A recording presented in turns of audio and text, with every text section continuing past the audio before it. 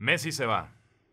Y sé que muchos de ustedes estarán muy contentos por la partida del astro argentino. La Pulga, un jugador diferente, alguien a quien cuesta trabajo entender muchas veces. Pero es que a Lionel Messi no le puedes pedir lo mismo que a otros jugadores. No le puedes exigir que grite como Sergio Ramos dentro de la cancha, o que tenga el físico de Cristiano Ronaldo, que te hable fuerte en el vestidor como lo hacía Rafita Márquez, o que festeje como lo hacía el bofo bautista. Messi es un hombre diferente, alguien que nada más está esperando la llegada del defensa, el hueco, el drible y el espacio para meter un gol. Lo de Messi es de otro planeta. Un planeta donde te meten ocho goles y te quedas sentado en el vestidor sin decir nada, con la cabeza agachada.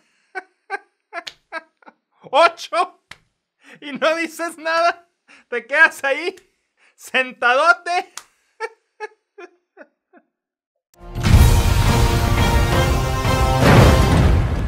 Bienvenidos a Aprendiendo con Sportsnomics. El 2020 ya se llevó muchas cosas y lo hemos repetido aquí, en este espacio. Hoy, mis queridos aprendiendo, se está escribiendo otra triste página en el deporte durante este año maldito. Resulta que aquel niño rosarino que a los 13 años dejó su pueblo para venir a jurarle amor eterno al Barcelona, hoy se hizo todo un hombrecito y ya le está escribiendo su carta de desamor. Hoy me cuesta mucho escribir estas palabras porque la silla en la que estoy sentado es muy chaparra y apenas alcancé la hoja. Vamos a darnos un tiempo, un tiempo que puede durar para siempre. Y qué mal escribo. Ah, ya sé, le voy a cantar una canción. Eh, como dice esa de... Ah, ok, va. Debes buscarte un nuevo amor que no guarde sus problemas que no sea como yo. A la hora de la cena, que solo pueda tenerte solo un poco y cierta parte, que no sea como yo, que solo vivo para amarte. Pero ¿cómo es que un amor de tantos años que parecía ser tan sólido está terminando? Esta crisis que está viviendo la relación de Messi y Barcelona no solo tiene una razón, tiene ocho. Ay, perdón.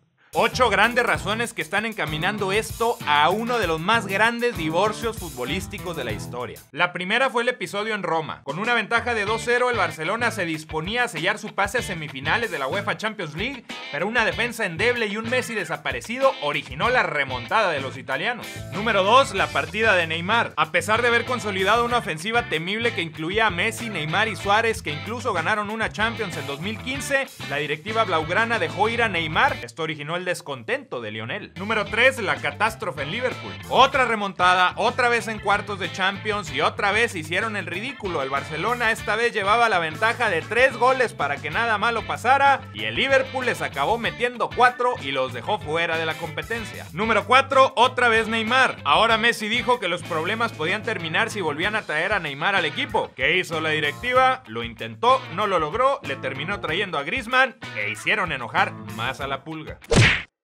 Número 5, se les escapa la liga. Tras la pandemia al Barcelona se le fue de las manos algo que sí le venía ganando al Real Madrid en los últimos años, la liga española. Pero les quedaba la Champions todavía, ¿no? Pues no, mis queridos amigos. Ya sabemos lo que pasó. El ahora campeón Bayern Múnich masacró al Barcelona propinándole una de las derrotas más humillantes en la historia de su historia y en la historia de la historia de la Champions. Número 7. El odiado Bartomeu. No es un secreto que la relación presidente-jugador entre Bartomeu y Messi ya estaba bastante desgastada, pero tras la goleada del Bayern al Barcelona se desató la ira del directivo, quien trajo a Ronald Koeman para cortar cabezas sin importarle si estos son amigos o no de Messi. Y número 8. Las llamadas. La gota que derramó el vaso de la paciencia de Messi fue la llamada que le hizo Coman a Luis Suárez para avisarle que no entraba en sus planes. Y esto último definitivamente ha sido un tema que ha hecho explotar a la pulga. Coman se convirtió en la amiguita alcahueta de la chava más guapa de la universidad, así es, la fea que se encarga de batearle a todos sus pretendientes sin que ella se dé cuenta. Coman tomó el teléfono y agarró parejo. Incluso nos filtraron que fue el mismo Coman quien hizo estos movimientos en este 2020. Hola, señor Vidal. Quiero informarle que usted está fuera del Barcelona a partir de hoy. Señor Umtiti, usted está fuera del Barcelona a partir de hoy. Aló, señor Rakitic. Eh, nada más para informarle, usted está fuera del Barcelona a partir de ya. agarre sus cosas y váyase. Señor Suárez, ¿cómo le va? A partir de ahora está fuera del Barcelona, ¿eh? Ahí me saluda Messi. Señor Tom Brady, Mr. Tom Brady en inglés. Eh, para informarle, está fuera de los Patriots. Y del Barcelona también. Señor Monarcas Morelia, eh, nada más para informarle que usted está fuera a partir de hoy de la Liga MX. Pero no de nuestros corazones. ¿Y ahora qué viene para Messi? Mis queridos aprendiendos, prepárense para escuchar de aquí al 5 de octubre puros bombazos, rumores, fichajazos, vueltas de carro invertidas y mucho más por todos los equipos que van a estar buscando a Messi. ¿Y cuánto es el billete que está involucrado en esto? La cláusula de rescisión de Messi es de 700 millones de euros. La gente de Messi buscará salirse del contrato sin pagar esta cantidad, pero seguramente el Barcelona no lo va a dejar ir libre como una palomita de la libertad libertad, así nomás. Así que prepárense para unos conflictos ahí, jalones, empujones, pellizcos, piquetes de greña, etc. Hasta ahorita Manchester City, Paris Saint Germain y Juventus son los equipos que más suenan para buscar a la pulga, pero una sorpresita puede caer por ahí. Gracias por llamar al servicio telefónico del Barcelona FC. Si deseas adquirir un jugador, teclea su número dorsal ahora.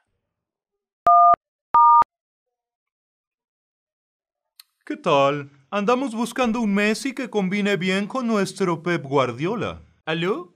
¿Hablo para preguntar el precio del lío? Nos vendría muy bien para acompañar a un Neymar que compramos hace tiempo. Chao, supimos que aquí venden una joya que puede acompañar a nuestro cristiano.